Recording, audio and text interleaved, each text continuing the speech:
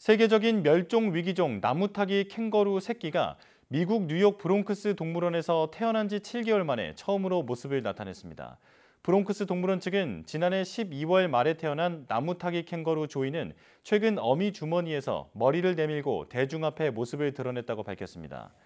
심각한 멸종 위기종인 나무타기 캥거루는 대부분 어미의 주머니 안에서 신체 발달 과정을 거칩니다.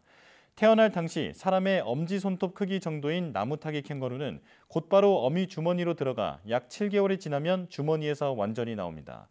같은 어미에게서 올해 두 번째로 태어난 나무타기 캥거루인 조이는 브롱크스 동물원과 동물원 및 수족관 협회가 함께하는 번식 프로그램을 통해 번식에 성공했습니다.